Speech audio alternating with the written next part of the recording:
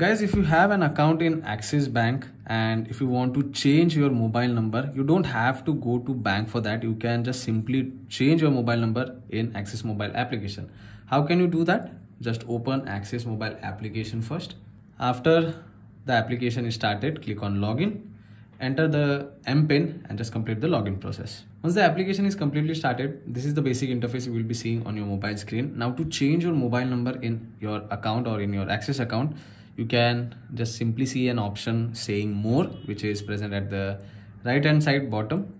Tap on more option and you will be able to check out all the option available in this page. But you have to select my profile option under services.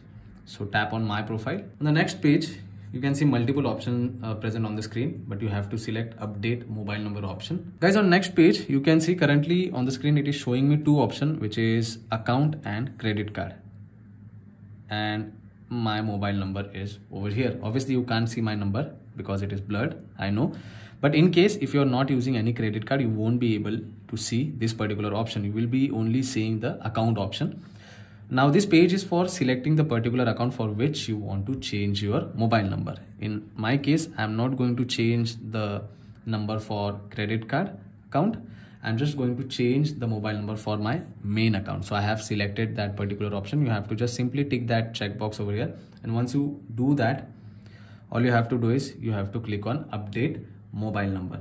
On the next page, guys, you have to enter your new mobile number and then you have to you know take this particular checkbox and click on proceed option i have entered the mobile number i'm going to click on proceed option now there are four ways by which you can complete the verification process one is you know getting an otp on your old mobile number so if you still have your your old number you can select this first option another one is via Aadhaar. Now, whichever number is linked to your Aadhaar card, you will be receiving OTP on that.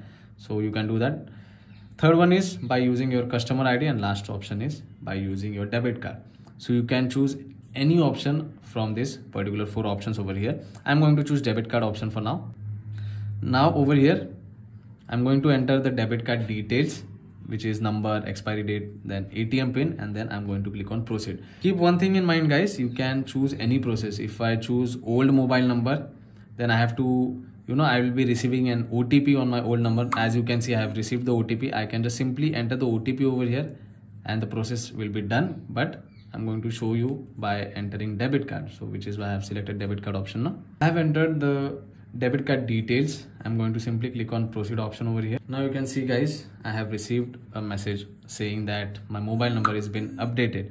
So guys these are the simple steps you have to follow if you want to change your mobile number in axis mobile application. It's simple. You don't have to go to bank for changing your number. If you like this video hit that like button. Also don't forget to subscribe to my channel for more videos like this. I will see you all in the next one. Thank you